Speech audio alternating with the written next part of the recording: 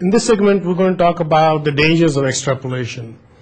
Uh, extrapolation is not a scientific principle as such, although we use extrapolation all the time to extrapolate uh, what the population of a city would be, uh, what the uh, stock market would uh, index would be, and so on and so forth. So let's go and look at an example to show that how extrapolation can be a dangerous idea. Uh, This is an example of uh, the NASDAQ index, which is a measure of about maybe 3,000 companies now, uh, to come up with an index of the stock market, uh, how the stock market is doing. Uh, NASDAQ started in 1971 with a base index of 100. And now, as you can see that in the years of 1994 to 1999, it went from anywhere from 752 to 4,000. It went as high as about uh, 5,000 in February of 2000, uh, February of 2000. So uh, nowadays, uh, the value of NASDAQ is about 1,500 or so. We're talking about uh, April 2009. So you can very well see that the, uh, this index has seen uh, quite amount of turbulence. So what happened was that uh, this was during the internet uh, boom area. Uh, the value of Nasdaq, which is which was mainly made of uh, many of the technological companies, it uh, increased quite a bit as as time went by. And as you can see that uh, right between uh, 98 and uh, 99, it almost doubled as, as time, in just in a single year. So there were a lot of people who were dreaming of retiring at the age of 40, retiring at the age of 45, because they thought that it would double every year. So if they put in some money in there, uh, in a few years, uh, they will have so much money that they don't need to work anymore. But as we know that uh, those things don't last very long, in fact, even the housing bubble which took place in 2008, uh, which burst in 2008, and we are seeing the repercussions of that kind of bubble in, uh, in today's uh, climate.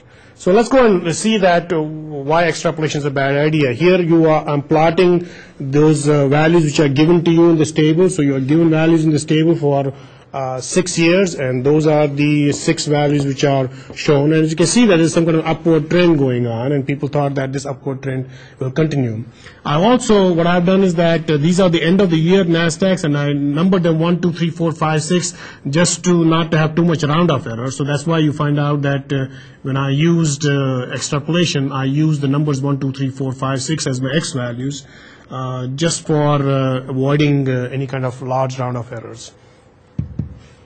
Now, this is uh, what I would get by extrapolation. So what I've done is that I took the, uh, I took one, uh, two, three, four, five, and six uh, uh, points which were given to me, and I used a fifth order polynomial. So I used a fifth order polynomial by, in Excel or in MATLAB, this is from MATLAB actually, and I took a fifth order polynomial and said, hey, let's go and let me go ahead and uh, interpolate it to a fifth order polynomial. And then I say, hey, let me see what happens in year seven and year eight, which is corresponding to year end of year 2000 and end of year 2001. And this is what I got as the extrapolated value. I got, hey, that at the end of year seven, my uh, NASDAQ value, which would be 9128. So if I had uh, invested in a stock or a, or a mutual fund, which um, which mimicked the NASDAQ uh, stock index, it would have doubled at the end of 2000. And end of 2001, it would have even further doubled and become uh, uh, 20,000 or so. And as we know that that's not true because uh, the maximum value of NASDAQ uh, took place in February 2000 to be about 5,000 or so. So see what happens now here. So this gives you the comparison of what you extrapolated. So this is what you extrapolated at the end of year 2000 and this is what you got as was the actual value of Nasdaq at the year of in the year of 2000. In fact, uh, if you would have um, uh, if you would have uh, used this to so keep in mind that this extrapolation is only just one one point ahead. So it's not that we are extrapolating, we're extrapolating way ahead. We're extrapolating just to one year ahead. So we had data from year one through six, and we're trying to find out what the value of in year seven will be. And this turned out to be the extrapolated value, and this turned out to be the actual value, where the difference is about 270% between the actual value and the extrapolated value.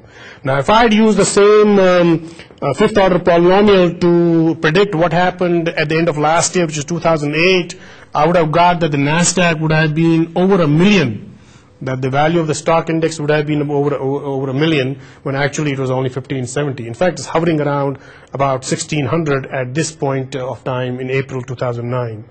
So those are, these are uh, one of the uh, many, many cases where you can show that extrapolation is a is a dangerous idea. So, so please, whenever you are doing extrapolation, you do need to think about uh, uh, whether you are uh, using some uh, good basis for extrapolation. Again, it is inexact because it's something which you're extrapolating for the time ahead, and nobody knows what happens time ahead in many of these uh, situations such as population growth or stock market index and so on and so forth. And that's the end of uh, this segment.